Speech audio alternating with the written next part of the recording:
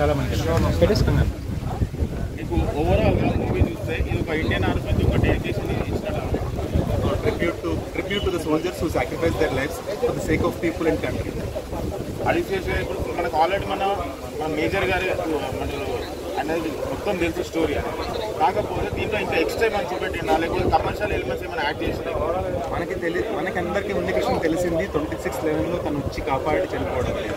కానీ తన చైల్డ్హుడ్ నుంచి తన చిన్నప్పటి నుంచి తన లైఫ్ ఎలా ఉండింది?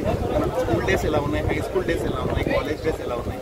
తర్వాత తన ఫ్రెండ్షిప్స్ ఎలా ఉన్నాయి? తన తన చాయిసెస్ ఎలా ఉన్నాయి?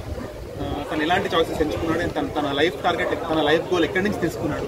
ఒక సోల్జర్ కళ్ళలో చూసి తన లైఫ్ టార్గెట్ సెట్ చేసుకోవడం దాన్ని ఇన్స్పిరేషన్గా తీసుకొని తను కూడా ఒక సోల్జర్గా మారడము పేరెంట్స్కి ఇష్టం లేకపోయినా కూడా ఆర్మీలో జాయిన్ అవ్వడము ఆ ప్రజల కోసం తన ఫ్యామిలీని కూడా పక్కన పెట్టి ఆ వాల్యుబుల్ టైం అంతా కూడా కంట్రీకి అండ్ పబ్లిక్ కోసం ఇచ్చేయడం అనేది రియలీ ఇలాంటి ఫిలిమ్స్ కూడా లవ్ స్టోరీ బోర్ కొడుతుందని చెప్పేసి ఆడియన్స్ ఏం చెప్తారు?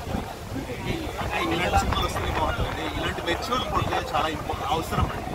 మెచ్యూర్డ్ ఆడియన్స్కి ఇలాంటి సినిమాలే నచ్చుతాయి. కేజీఎఫ్ ఆర్ఆర్ఆర్ ఇవన్నీ చాలా ఎల్కేజీలో కనిపిస్తాయి ఇలాంటి సినిమాల ముందు. ఇది ఒక పిహెచ్డి లాంటి సినిమా. బ్యాక్గ్రౌండ్ మ్యూజిక్ మీకు ఈ మూవీకి బ్యాక్ బోన్ అనుకుంటున్నారు? బ్లెండ్ అయింది. సినిమాకి ఎలాంటి బ్యాక్గ్రౌండ్ మ్యూజిక్ అవసరం అలాంటి అలాంటి మ్యూజిక్ ఇచ్చారు? ఏది ఆర్టిఫిషియల్ ఫ్లేవర్ అనిపించలేదు. ఎన్ఎస్జీ వాళ్ళు ఏదైతే వాళ్ళ వాళ్ళ యాక్షన్లో ఒక స్పీడ్ ఉంటుంది. అంటే నార్మల్గా మనం పరిగెత్తేదానికి ఎన్ఎస్జీ వాళ్ళు చేసే యాక్షన్కి ఒక డిఫరెన్స్ ఉంటుంది కదా. ఆ స్పీడ్కి కూడా మ్యాచ్ అయ్యే మ్యూజిక్ బాగా ఇచ్చారు. మనకు ఒక మెడల్ అనేది ఒక ఆర్మీ వాళ్ళు మనకు అడివిశేష్ గారికి ఇచ్చడం ఇవ్వడం మీకు ఎంత వరకు సంతోషం అనిపిస్తుంది?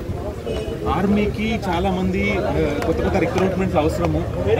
సో ఆ రిక్రూట్మెంట్ పరంగా కూడా ఈ సినిమా ద్వారా చాలా హెల్ప్ అవుతుంది అనుకుంటాను చాలా మంది ఆర్మీలో జాయిన్ అవుతారు ఈ సినిమా నుంచి ఇన్స్పైర్ అయ్యి. ఎందుకంటే ఇట్స్ ఇండియన్ ఫిల్మ్ అండ్ అన్ని లాంగ్వేజ్లో రిలీజ్ అయింది కాబట్టి ఇండియన్స్ మారు ఏ మారుమూలు ఉన్నా కూడా ఈ సినిమా ఖచ్చితంగా చూసి ప్రౌడ్గా ఫీల్ అవుతారు.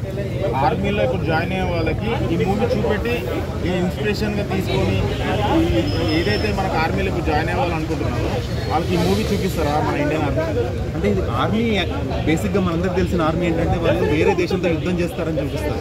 ఈ సినిమాలు ఏంటంటే ఇంటర్నల్గా దేశంలో ఆపద వచ్చినప్పుడు వాళ్ళు ప్రజల కోసం రియల్ టైం ప్రజల కోసం ప్రజల మధ్యలోంచి వచ్చి వాళ్ళు ఎలా ప్రజల్ని కాపాడతారు ప్రజల కోసం ఎలా ఇప్పుడు రియల్ టైంలో కూడా మనకి సునామీ వచ్చినప్పుడు కానీ పెద్ద విపత్తులు వచ్చినప్పుడు కానీ మనకి పోలీసులు కూడా దాటి మనకు ఒక హెల్పింగ్ ఫోర్స్ ఏదైనా ఉంది అంటే అది ఆర్మీ కదండి. ఇప్పుడు ఎలాంటి ఎవరు వెళ్ళలేని చోటు కూడా వెళ్ళి వాళ్ళు హెల్ప్ చేయడానికి ట్రై చేస్తారు. అంటే ఆర్మీ అంటే వేరే దేశ సైనికుడిని చంపేవాడు కాదు. లోకల్లో ఉన్న ప్రజలు ఫస్ట్ లెవెల్లో ఏ ఆపద వచ్చినా కాపాడేవాడు. అంటే ఆల్మోస్ట్ ఒక దేవుడిలాగా అన్నట్టు అర్థమవుతుంది. అంటే అంటే నేనేమంటున్నా అంటే ఇప్పుడు ఆర్మీలో ప్రతి ఒక్కటి ఏదైనా రన్నింగ్ రేస్ అయినా సరే ఏదైనా సరే ఓకే సో మన తెలుగు సినిమాలో పాన్ ఇండియా పరంగా ఇది ఒక మంచి స్ట్రాంగ్ సినిమా అనుకోవచ్చా? ఇది international cinema.